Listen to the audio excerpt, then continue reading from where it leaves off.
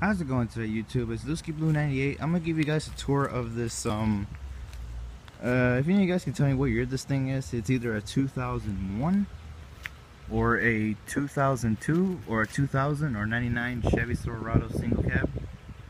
Um, it is the base model though. No, it's not my truck.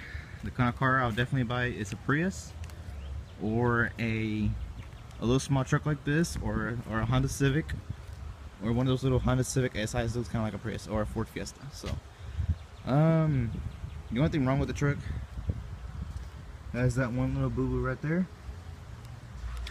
and it's got its it's got its muffler though. Um, it's got the guy, the poor guy is gonna need some tires as you can see. Um, bed and everything's in good condition. Uh, I'll show you guys the inside real quick. Yeah, it's a complete base model, so yeah. Uh, I don't know if it has power mirrors, but I'm pretty sure it has Tahoe wheels. As you can see.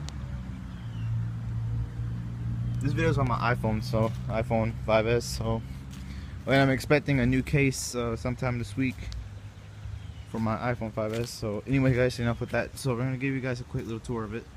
Um, they made these trucks in the year of, I think, back in '94 they started making the different body style. I started making the square on body style Chevy trucks.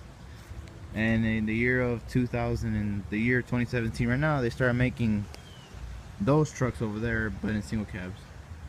But if I prefer, if I had to choose a truck or a work truck, I would definitely choose something like this beautiful thing right here.